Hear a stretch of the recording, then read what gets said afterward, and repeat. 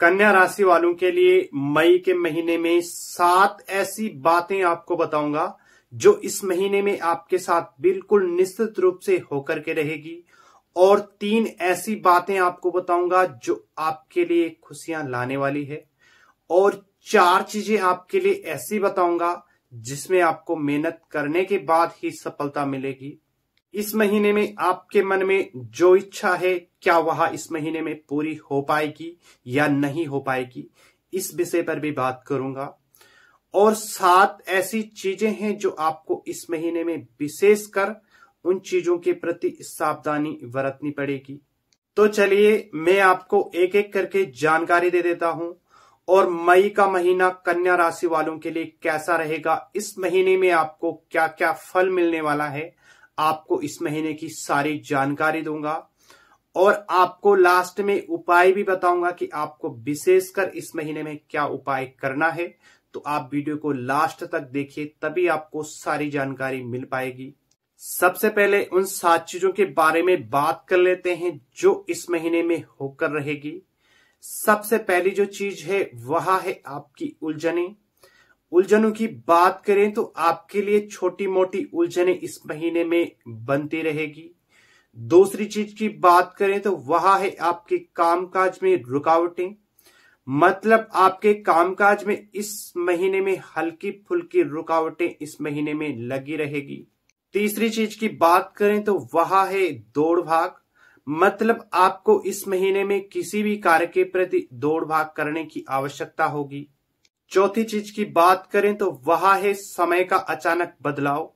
मतलब आपको इस महीने में किसी भी कार्य के प्रति अचानक बदलाव नज़र आएगा।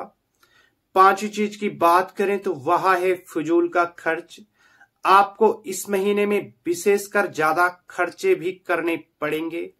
छठी चीज़ की बात करें तो वह है वैवाहिक जीवन में कुछ ना कुछ परेशानियाँ। मतलब इस महीने में आपको वैवाहिक जीवन में छोटी मोटी समस्याएँ बनती रहेगी। सातवीं चीज़ की बात करें तो वह है स्त्री और महिलाओं के लिए उलझने। मतलब इस महीने में आपको किसी न किसी रूप में कुछ ना कुछ टेंशन, परेशानियाँ झेलनी पड़ेगी। अब उन चार चीज़ों की बात कर लेते हैं जिसमें आपको इस महीने में मेहनत करने के बाद सफलता मिलेगी। सबसे पहली जो चीज़ है, वह है आपकी नौकरी। अगर आप इस महीने में नौकरी में तरक्की चाहते हैं तो आपको विशेषकर मेहनत करने की ज़रूरत पड़ेगी। दूसरी चीज़ की बात करें तो वह है आपका बिज़नेस तथा व्यापार।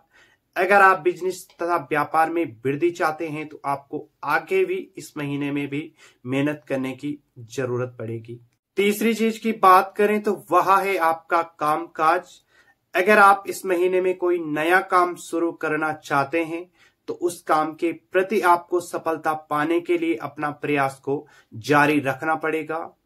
चौथी चीज़ की बात करें तो वह है ज़्यादातर विद्यार्थियों के लिए। विद्यार्थी लोग अगर ऐसा चाहते हैं कि परीक्षा का परिणाम आपके अनुकूल रहे तो आपको अपनी मेहनत को जारी रखना पड़ेगा। अब उन तीन चीज़ों की बात कर लेते हैं जो आपको इस महीने में खुशियाँ देने वाली है, लाभ देने वाली है। सबसे जो पहली चीज़ है, वह है पैसों का लाभ। मतलब आपको इस महीने में पैसों का अच्छा लाभ मिलता रहेगा। भले ही आपकी उलझने इस समय, इस महीने में बरकरार रहे, परंतु आपके लाभों में कोई कमी नहीं होगी। अगर आपके लिए कोई कमी हो रही है तो आपको छोटा सा उपाय को अपनाना पड़ेगा। दूसरे लाभ की बात करें तो वह है आपके हितेशी जनों से लाभ, आपके परिवारजनों से लाभ। अर्थात इस महीने में आपके हितेशी जनों से आपको कुछ ना कुछ लाभ भी प्राप्त होता रहेगा। तीसरे लाभ की अगर हम बात करें तो वह है आपके दैनिक जीवन में तरक्की। अर्थात इस महीने में आपके दैनिक जीवन में जितने भी कार्य होते हैं, उस कार्यों में आपकी तरक्की होती रहेगी। पिछले महीने की अपेक्षा इस महीने में धीरे धीरे आपकी अच्छी तरक्की आगे बढ़ती रहेगी।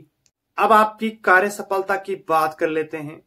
इस महीने में आपके दिमाग में कुछ इस प्रकार का प्रश्न उठेगा, क्या इस महीने में मेरा काम बनेगा या नहीं बनेगा? क्या जैसे मैं सोचता हूँ ऐसा होगा या नहीं होगा? इस विषय पर अगर गौर करें तो आपके लिए इस महीने में कई तरह के दिमाग में प्रश्न उठते रहेंगे। नई नई योजनाओं पर आपका दिमाग इस समय निर्णय लेगा। समझ लीजिए जिस निर्णय पर आपने टिकाऊ कर लिया, जिस निर्णय पर आपने लंबे समय तक निर्णय ले लिया, वह कार्य आपका आगे आने वाले समय में सफल होगा। इस महीने में आपको अगर किसी कार्य के प्रति सफलता प्राप्त करनी हो तो आपको उपाय की सहायता से वह कार्य सफल हो सकता है। कन्या राशि वालों के लिए मई का महीना चुनौती देने वाला रहेगा। इस महीने में आपके सामने किसी प्रकार का काम आएगा फिर उस काम के प्रति अचानक ही परिवर्तन जैसी स्थितियाँ हो जाएगी। आपके स्वभाव में भी इस महीने में परिवर्तन नज़र आएगा। स्वभाव में चिड़चिड़ापन, ज़्यादा क्रोध आना ऐसी स्थितियाँ इस महीने में नज़र आएगी। हालाँकि आपको इस महीने में पैसों का भी लाभ मिलता रहेगा। आपके जो दैनिक कार्य होते हैं, उसमें भी आपको लाभ नज़र आएगा। किसी भी कार्य के प्रति लंबा संघर्ष करना पड़ सकता है। किसी कार्य के प्रति आपको रुकावटें इस महीने में नज़र आएगी। नौकरी में भी इस महीने में संघर्ष करना पड़ेगा। बिज़नेस तथा व्यापारियों को भी इस महीने में धीमापन रहेगा। वैवाहिक जीवन में छोटी छोटी बातों को लेकर के तनाव होगा। स्त्रियों तथा महिलाओं को भी छोटी मोटी उलझने परेशान करती रहेगी। विद्यार्थियों के लिए मेहनत करने की आवश्यकता पड़ेगी।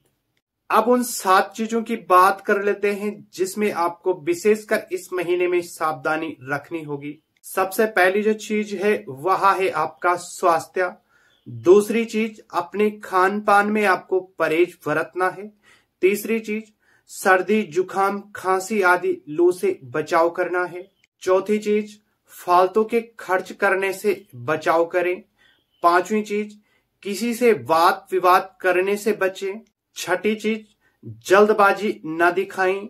सातवीं चीज़, शरीर में आलस्य न करें। आलस्य को इस महीने में त्याग दें। अब मैं आपको उपाय की सलाह दे देता हूँ। आपको उपाय तभी करना है जब आपका वर्षपल से यह पता चले कि आपके ग्रह वर्षपल में किस तरह बैठे हैं। तो अपने वर्षपल के हिसाब से आप विशेष इस महीने में उपाय करें। यह उपाय आपके लिए सही रहेगा।